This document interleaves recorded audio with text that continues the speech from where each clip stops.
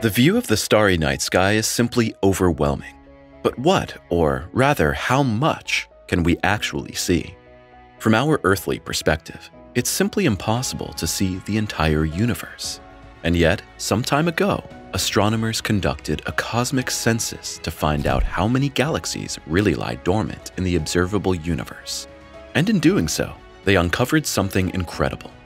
The bottom line is that there are at least 2 trillion galaxies out there, about 10 times more than previously thought. Today, we'll show you how experts discovered the truth about these hidden galaxies and how this has changed our understanding of our cosmic neighborhood. As we can see, we don't see nothing, but ultimately only a small part of the whole. No matter how impressive the starry sky may seem, at the end of the day, it only shows us a small part of the entire universe. And of course, this applies not only to the naked eye, but also to our space telescopes and Earth-based observatories. But why is that? Well, in simple terms, because light also needs time to reach us. Assuming that the universe is isotropic, or in other words, that it always presents itself to the observer in the same way, regardless of their position and direction of observation. This results in a spherical space around the Earth that corresponds to our cosmic field of vision. The optical boundary, known as the observation horizon, in turn defines the part of the cosmos from which information has been able to reach us since the Big Bang. And since the birth of the universe is known to have taken place 13.8 billion years ago, one might think that we can therefore see 13.8 billion light years deep into space. But that is a fallacy. In detail, we must not forget that our cosmic home is by no means a rigid and unchanging structure but that it has been continuously expanding spatially since its creation. As a result of this expansion, distances already traveled have been extended retrospectively, and so it is that the distance to the observation horizon is not 13.8 billion light-years, but a full 46.3 billion light-years. But what lies beyond that, and this is the exciting part, will forever remain the great unknown. The most distant objects whose light we can observe today were just 40 million light years away from us at the time they emitted this light. Today, however, their distance from us is over 46 billion light years, as mentioned above, which is why it's simply impossible to ever learn anything about the processes currently taking place there. Consequently, researchers can only speculate about what lies beyond the observable universe. And although this starting point may seem quite frustrating at first, it's remarkable that we have discovered it at all. Because if we turn back the wheel of time by around 100 years, we end up in an era in which the leading experts actually had a completely different cosmological worldview. According to this view, renowned physicists such as Albert Einstein were firmly convinced that the cosmos truly embodied an eternal, unchanging structure. But that was not all. Beyond that, the Milky Way was also considered to be the only galaxy in the entire universe. We owe the realization that cosmic reality is in fact quite different to a certain Edwin Hubble. In the 1920s, he set out to examine the mysterious spiral nebulae in the night sky. These were spots of light that had previously been located within the Milky Way. In the course of his observations, however, Hubble discovered something that amounted to an astronomical revolution. Within the ominous nebulae, he found variable stars known as Cepheids, which can be used to determine distances in space because their brightness is directly related to their distance. In this way, Hubble was able to calculate the distance of the spiral nebulae and discover that they were far too distant to be part of our own galaxy. And the rest is astronomical history. The supposed nebulae turned out to be independent galaxies and, virtually overnight, provided the realization that the universe is far larger than previously assumed. Hubble also realized that the other galaxies are moving away from us and that the speed of this galactic flight actually increases with distance. However, it was not the galaxies that were moving through space. Rather, it was space itself that was continuously expanding. This discovery revealed that the universe is constantly expanding, and, true to the motto, what grows must once have been much smaller, it ultimately laid the foundation for the Big Bang Theory. How many galaxies are out there?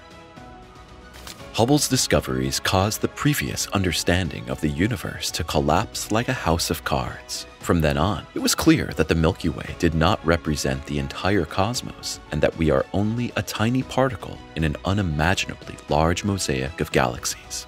But how many galaxies does the observable universe actually contain? Well, in fact, astronomers had only a vague idea of this until the 1990s. Their estimates were largely based on relatively bright, easily visible galaxies, while many smaller and fainter examples escaped our gaze. To finally shed some light on the galactic darkness, the Hubble Space Telescope turned its gaze into space in 1995. More precisely, Hubble spent 10 days observing a tiny, seemingly empty spot in the sky and ultimately revealed the universe in unprecedented detail. Consisting of 342 individual images, the Hubble Deep Field showed over 3,000 clearly recognizable galaxies at a distance of up to 12 billion light years. However, the famous image not only showed the remarkable diversity of galactic worlds, but also that the universe is much denser than previously thought, especially in the early cosmos. Even then, it was clear that the actual number of galaxies in the observable universe must be far greater than previously thought. The ultra deep field of 2004 and the extreme deep field of 2012 further deepened our understanding of space. And that is meant quite literally, because the two images show significantly more galaxies, some of which are over 13 billion light years away from us. In addition, the deep fields also enabled astronomers to approximate the total number of galaxies in the observable universe. Specifically, they were able to determine the galaxy density per square degree of the observed areas and then extrapolate this to the entire sky.